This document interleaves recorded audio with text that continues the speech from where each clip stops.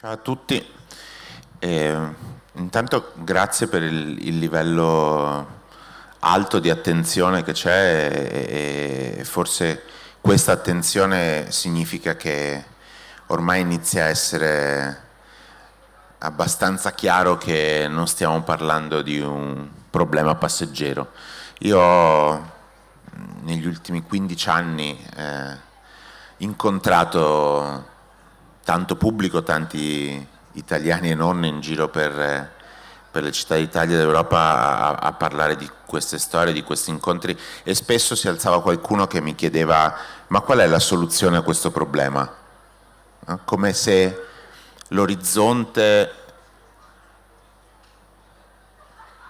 di confronto con tutto ciò fosse comunque quello di sperare che tutto ciò scomparisse. Questo è il cardine, il perno su cui si costruisce l'incubo raccontato come sogno che in questo momento sta trascinando molte persone a dare consenso a questo stesso incubo. Cioè il perno è se state con me che io faccio il cattivo, questa cosa scompare non preoccupatevi, ve la tolgo di dosso. E questa sensazione che questa storia possa avere un finale che prevede il poter non vederli più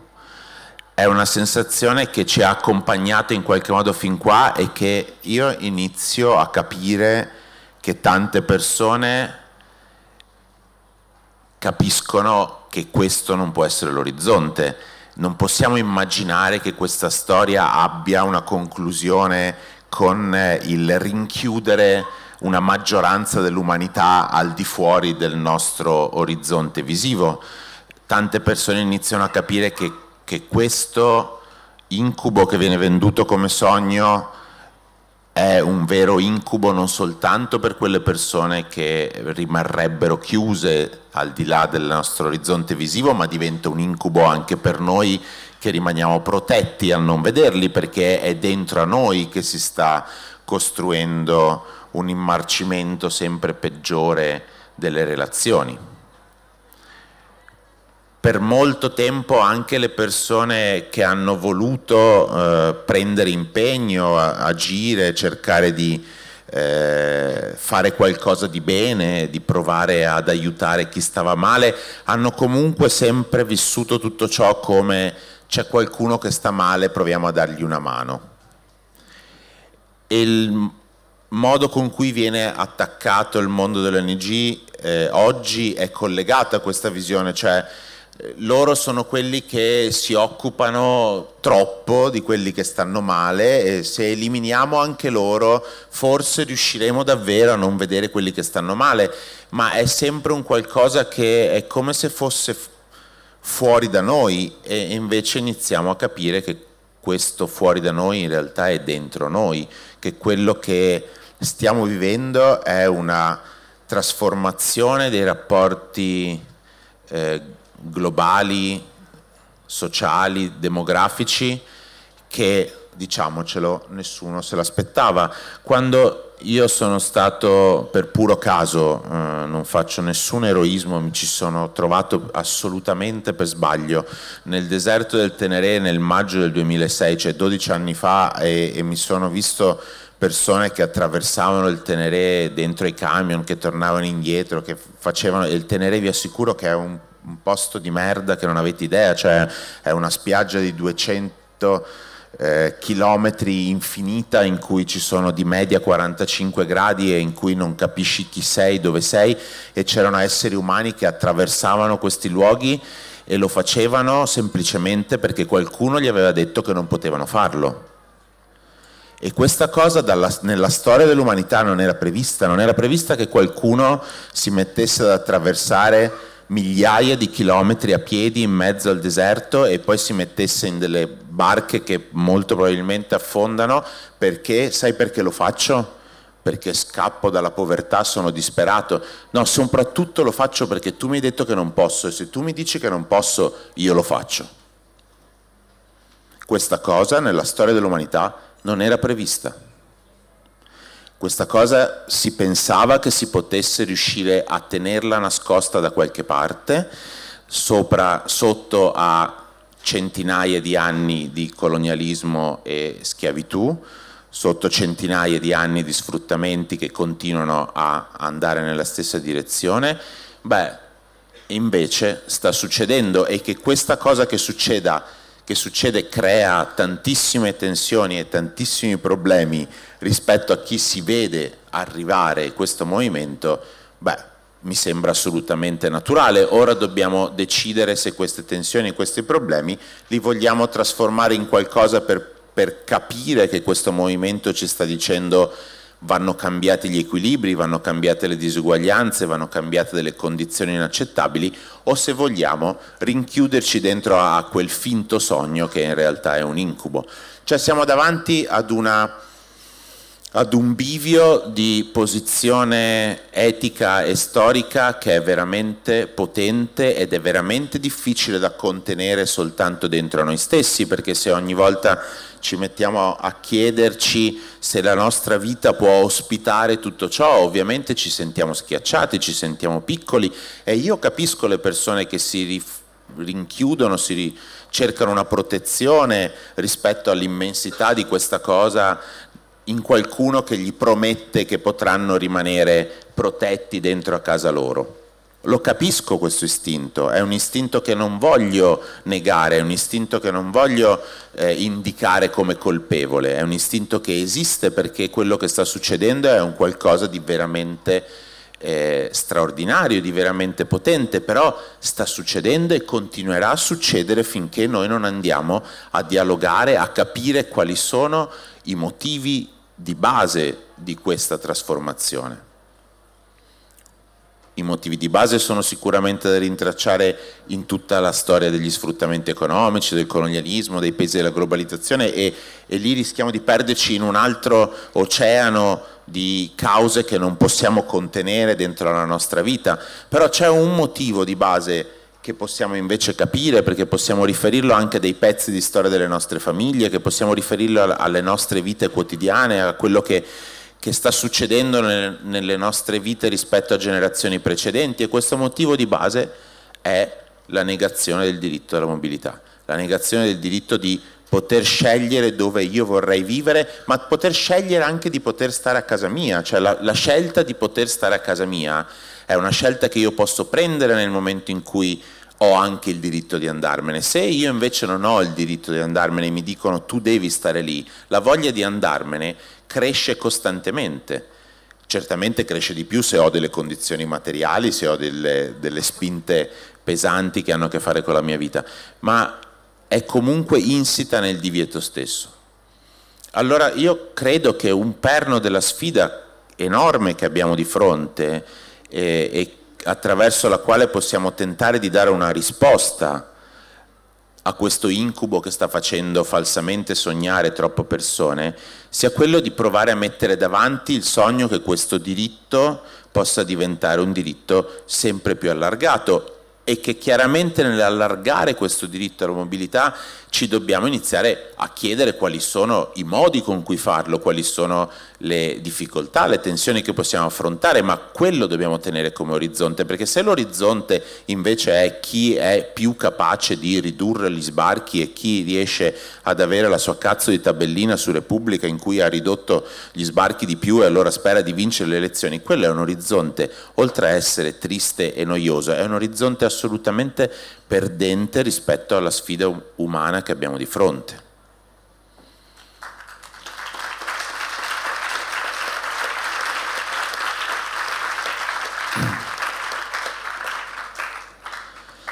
Quando nel 2014 Riccardo, scusa, eh, Riccardo parlava, ha parlato spesso di Mare Nostrum, ora Mare Nostrum fu un'operazione eh, che sicuramente pose eh, un orizzonte di coraggio eh, altro rispetto ad altre cose fatte precedentemente, perché disse ok, dobbiamo fare un'operazione di salvataggio, non, non solo di blocco. Però ci sono due cose che hanno fatto veramente male di quell'operazione, cioè ci sono stati due errori profondi di cui stiamo eh, pagando oggi le conseguenze. La prima fu che quell'operazione costruì un'alternativa all'incubo che prima era di Maroni, oggi è di Salvini, cioè l'incubo di bloccarlo, eh, facendo credere che l'alternativa è invece noi li prendiamo nel Mediterraneo e li salviamo così risolviamo il problema. Ma questa era un'ipocrisia pesante perché le persone che arrivavano a poter essere salvate da Mare Nostrum erano arrivate fin là già rischiando la vita molte altre volte prima e, e comunque Mare Nostrum tante persone non le ha potute salvare, quindi la eh, capacità salvifica di quell'operazione in realtà conteneva un'operazione retorica che copriva il fatto che continuavamo a negare a quelle persone il diritto di potersi muovere in maniera sicura, cioè fin là ci dovevi arrivare pagando i trafficanti, rischiando la vita nel deserto, rischiando la vita nel mare e se qualcuno ti trovava ti salvava, ma strutturalmente avevamo cambiato qualche decina o forse centinaia, qualche decina di miglia rispetto a migliaia di chilometri di rischio di vita.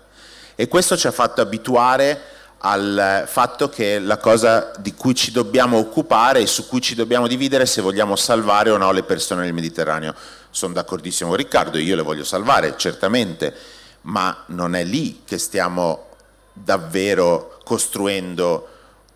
un'alternativa di orizzonte rispetto a quello dell'incubo maroniano, salviniano che ci viene proposto come, come, sogno. Non è lì il punto in cui possiamo eh, provare a destabilizzare questo meccanismo. È certamente lì il posto dove possiamo andare a salvare degli esseri umani e quindi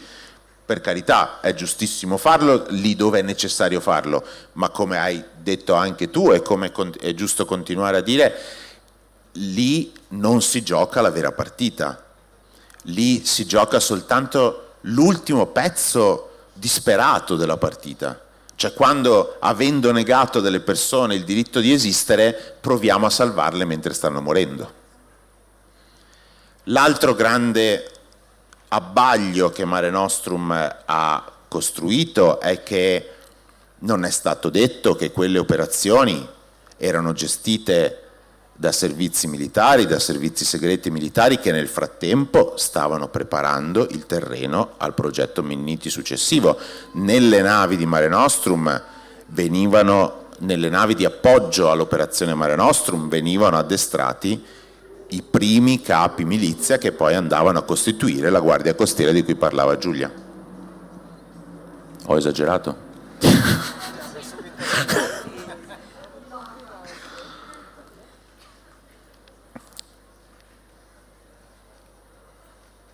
Gli, le fonti di informazioni con cui ho potuto lavorare per, per scrivere il, la sceneggiatura dell'ordine delle cose sono persone che hanno iniziato a lavorare al progetto degli accordi con la Libia che eh, fa ridere chiamare i, i, nuovi accordi perché si riferiscono in realtà ad una storia molto lunga che parte almeno dal 2005-2006, ma comunque le persone che dovevano, i funzionari che dovevano rincominciare a scrivere quella storia, che dovevano rincominciare a tessere le relazioni con i nuovi poteri libici per rifare la stessa cosa, cioè i funzionari che dovevano continuare a reiterare lo stesso ordine delle cose, iniziano a lavorare esattamente in quegli anni, Esistono, iniziano a lavorare esattamente in quei mesi, iniziano a lavorare esattamente in quelle, in quelle navi che nel frattempo vengono raccontate come navi di salvataggio e il governo che in quegli anni si vende a livello mediatico e a livello di politica europea come il governo che salva gli esseri umani è lo stesso governo che inizia ad attivarsi per poter aprire quel terreno che oggi Salvini continua a frequentare, perché è l'assenza di un altro orizzonte che impedisce di immaginare qualcos'altro. E allora anche il salvataggio, e questo è secondo me veramente brutto, non so come dirlo in una maniera più forbita, anche il salvataggio diventa copertura di una strategia che in realtà è quella dell'incubo, cioè io devo comunque trovare un modo per tenerli al di là e utilizzo le barche di salvataggio per iniziare a formare i miliziani che poi bloccheranno. E tutto ciò viene fatto governo, dai governi di centrosinistra a partire dal 2013-2014 e se oggi viviamo con ansia l'incubo della esperienza della esplicita posizione cattiva, razzista, xenofoba di Salvini è perché tantissimo terreno, eh, terra bruciata è stata fatta in quegli anni in cui questa operazione di respingimento veniva preparata.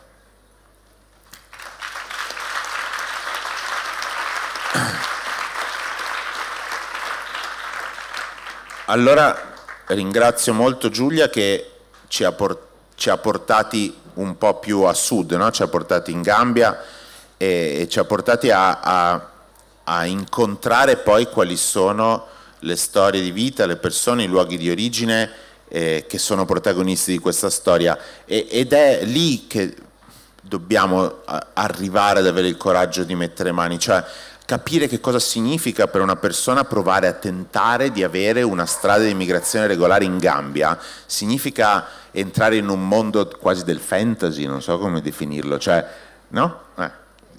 È, cioè, è, è, è, una cosa irrealizzabile quella di dire io gambiano vorrei andare a cercare lavoro, studiare, trovare un parente in, in quel luogo, no? Cioè è, è, è, così come io burkinabè, così come io maliano, così come io senegalese. E attenzione, uno dice cazzo, ma così viene tutto il mondo qua. Ma stiamo parlando di tutto ciò di cui abbiamo parlato, stiamo parlando di un bacino di paesi di origine eh, che non è tutto il mondo, sono i paesi che hanno diciamo, una contingenza geografica che fa pressione verso il luogo in cui noi siamo, che non sono così tanti, non sono una cosa, in, in, un universo immenso che non possiamo trattare. Maggior, se voi guardate i dati degli sbarchi degli ultimi 15 anni, parliamo di una decina di paesi con cui poter provare a costruire delle relazioni con cui poter provare a costruire dei canali di ingresso regolare, che significa dare alle persone la possibilità di viaggiare in maniera regolare, significa che questi possono viaggiare e tornare, perché esiste anche l'incubo che tu non puoi tornare a casa. No? Cioè esiste l'incubo che tu ti ritrovi bloccato in un posto dove hai dovuto fare richiesta d'asilo e ti sei dovuto trovare dentro dei progetti di accoglienza che non volevano essere di accoglienza, a differenza di quello di Riace, perché ne esistono tanti di posti che si sono inventati di essere di accoglienza perché gli hanno detto guarda ci sono i soldi per fare questa cosa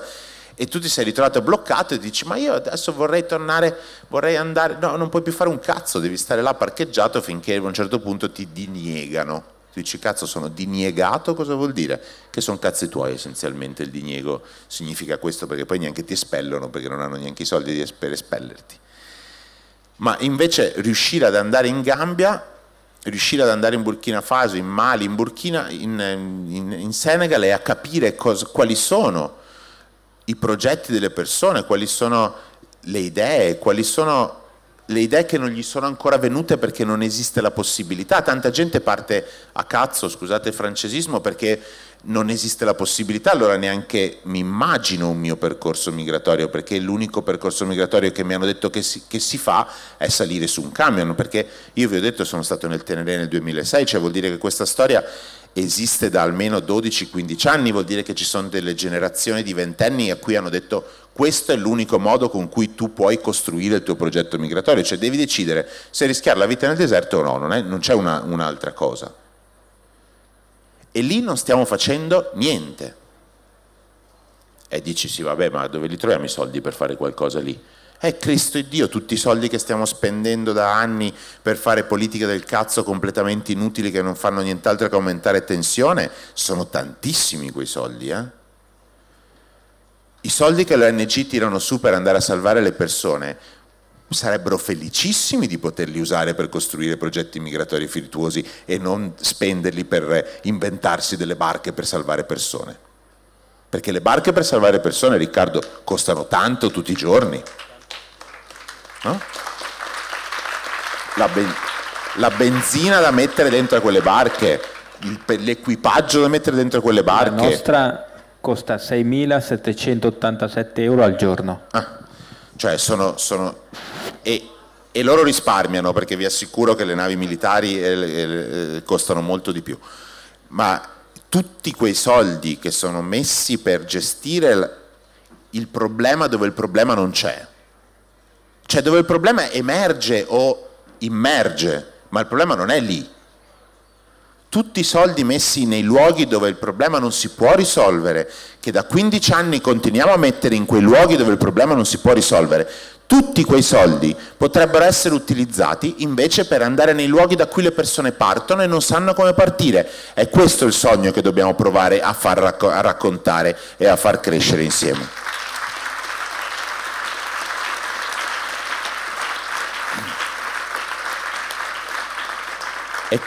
E questo è il modo con cui possiamo scardinare l'incubo dentro a cui siamo,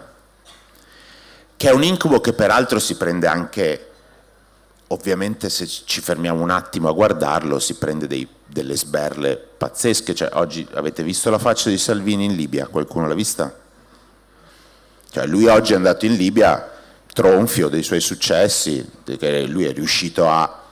salvare 820 persone che vengono rimandate in Libia, di cui, come vi diceva Riccardo, ce ne sono almeno 180-200 disperse. Eh? E lui è ringraziato come padre questa follia. Schifoso e tronfio di tutto ciò è andato in Libia a tentare di ottenere ulteriore successo, a dire noi adesso siamo qui a collaborare col meraviglioso popolo libico. Parlava ovviamente con un, un pezzettino di uno dei poteri che stanno dilaniando la Libia in questo momento e, e questo pezzettino gli ha risposto non potete e lui ha avuto un momento di panico vero che ha detto cazzo c'è, c'è, un cazzo di musulmano libico che mi può dire che non posso e non se l'aspettava affatto. Ma perché questo è, è naturale che invece questo gli sia successo povero Matteo perché se lui continua a pensare che questa cosa si possa risolvere gestendola dentro ad una sorta di ombelico imbuto dentro a cui ci stiamo infilando mentre intanto il mondo si complessifica abbastanza, appena mette fuori il naso da questo ombelico imbuto si becca una serie di botte che però fanno del male, chi se ne frega che facciano il male a lui, ma fanno malissimo a noi e, e malissimo alle persone coinvolte in questa storia. Allora io credo che con un po' di intelligenza e attenzione smontare questo incubo non ci voglia molto, ma la cosa più grande, più difficile e però più bella, che ci può dare più energia da fare insieme, è avere il coraggio di costruire un sogno veramente alternativo a quell'incubo. E come tutti i sogni è un sogno difficile da fare, ma avere un sogno difficile da fare ti permette di andare avanti. L'incubo invece ti fa soltanto chiuderti in casa e sperare che tutto ciò possa conservarsi e a me le conservazioni non mi interessano. Grazie.